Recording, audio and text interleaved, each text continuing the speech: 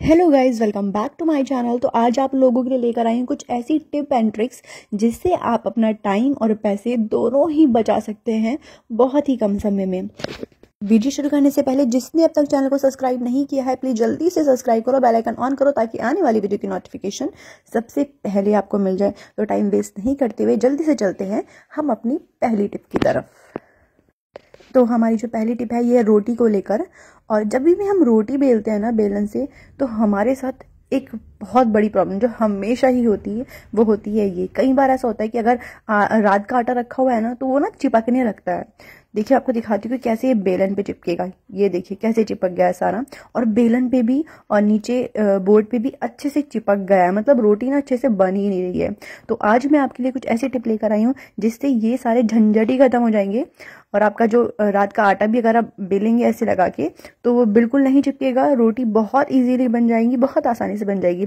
तो चलिए जल्दी से स्टार्ट करते हैं। तो हमें करना क्या है? सिंपली गैस ऑन कर लेनी है। यहाँ मेरे पास लाइटर था ये वाला तो मैंने इसी से गैस ऑन की। अब हमें क्या करना है? सिंपली बेलन को ना ऐसे इस आग पे रखना है। ठीक है? बस ऐसे हमें चलाते जाना है, घुमाते जाना है। एक एक साइड से नहीं दिखाना, वरना जल जाएगा। तो हमें चारों तरफ़ से मतलब इसको अच्छे से कर लेना है। अब देखिए, ये काफ़ी गर्म भी हो गया है। इसको आसान थोड़ा सावधानी से इसको टच कीजिएगा बिकॉज़ बहुत ज़्यादा गर्म हो जाता है। और जैसे ही अब ये थोड़ा ठंडा हो जाएगा, अभी मैं आपको दिखाती हूँ रोटी बेल के कि अब इस पर चिपकती है रोटी या नहीं। खुद आपको आप मेरे सामने देखिएगा। हल्का सा इसमें हम आटा लगाएँगे। पहले भी मैंने आटा लगाया था बट तब भी चिपक रहा था। और अभी आप देखना कि ये बिल्कुल भी नहीं चिपक रहा है।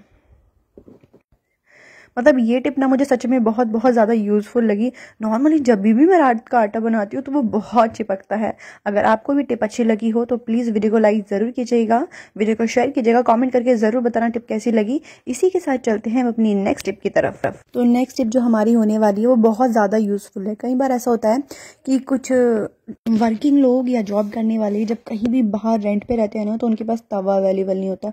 तो मैं आपको बताती हूँ, आपके पास कोई कुकर हो, भगोना हो, कुछ भी हो तो आप ऐसे इजीली रोटी बना के इसमें सेक सकते हैं बिलीव में ऐसे साइड में भी आप तीन चार लगा सकते हैं। हल्का सा पानी लगा के तीन चार रोटी ना आसानी से बन जाएगी।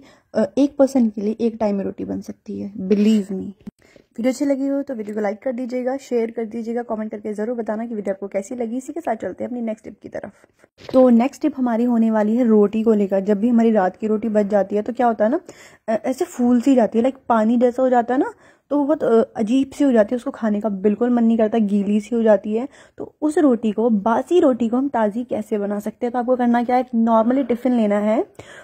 अब इस टिफ़िन को ना अच्छे से बंद कर देना है रोटी इसके अंदर रख के। नेक्स्ट स्टेप हमारा बहुत यूज़फुल होने वाला प्लीज़ एक बार ज़रूर ट्राई कीजिएगा। तो आपको करना क्या है? अभी हमें कुकर ले लेना है और गैस ऑन करनी है और एक डेढ़ गिलास पानी डालना है। जाली लगा के ऊपर से आप ये जो हमने बॉक्स बनाया है, इसको रख दीजिएगा ऐसा आसानी से। बिल्कुल पानी में भीगना नहीं चाहिए, वरना रोटी के अंदर पानी चला जाएगा।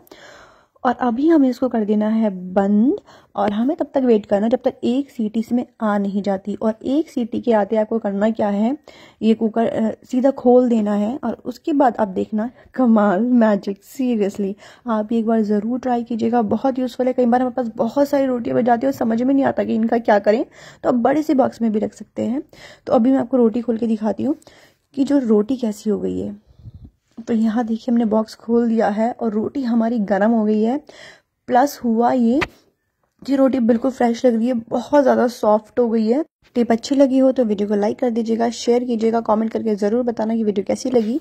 इसी के साथ चलते हैं जल्दी से अपनी नेक्स्ट टिप की तरफ़। तो नेक्स्ट टिप हमारी होने वाली है नमक को लेकर। कई बार ऐसा होता है ना, बरसात में ना नमक सील जाता है और समझ नहीं आता कि इसको यूज़ कैसे करें और डब्बे में भी चिपकने लगता है। तो आज आप लोगों के लिए बहुत यूज़फुल मैं टिप लेकर आई हूँ। बरसात आ रही है, जैसे कि तो सीलन तो बहुत ज़्यादा हो जाती है नमक भी। अगर हल्का सा भी बॉक्स खुला रह जाए तो बहुत ज़्यादा सीलन आ जाती है। तो सीलन हम कैसे हटाएँ, आज मैं आपको दिखाने वाली हूँ। तो हमें करना क्या है सिंपली गैस ऑन करनी है और गैस पे रखना है तवा। यस लोहे का तवा ना सही होता है इस काम के लिए तो लोहे का तवा ही रखिएगा। और ये जो नमक है, हल्की गैस की फ्लेम हमें रखनी है और स्पून से ना इसे चलाते रहना है। ताकि जो हमें, क्योंकि नमक का कलर हमें बिल्कुल भी लाल नहीं करना है तो हल्की सी आँच पे हमें बस ये चलाते जाना है धीरे धीरे स्लोली स्लोली और जब ये थोड़ा सा गर्म हो जाए देखेंगे कि धीरे धीरे इसकी जो नमी थी ना, वो सारी गायब हो गई। और अगर ऐसे आप गर्म करके नमक खाएँगे ना तो जिनका भी हाई ब्लड प्रेशर होता है ना, उनके लिए भी बहुत बेस्ट होता है। तो आप प्लीज़ ज़रूर ट्राई कीजिएगा, आपकी हेल्थ और टाइम दोनों की बचत होगी। और आपकी प्लस जो वेस्टेज थी अब वो भी नहीं होगी। सीला हुआ नमक भी आपकी काम आएगा। तो नेक्स्ट टाइम से जब भी आपका नमक ऐसे सीलने लगे ना तो एक बार ये टिप ज़रूर याद रखना। इसको ट्राई करके मुझे प्लीज़ नीचे कमेंट सेक्शन में ज़रूर बताना। वीडियो अच्छी लगी हो तो वीडियो को लाइक करिएगा शेयर करिएगा कमेंट करके ज़रूर बताना कि वीडियो कैसी लगी। इसी इसी के साथ मिलते हैं नेक्स्ट वीडियो में। तब तक के लिए bye take care thanks for watching me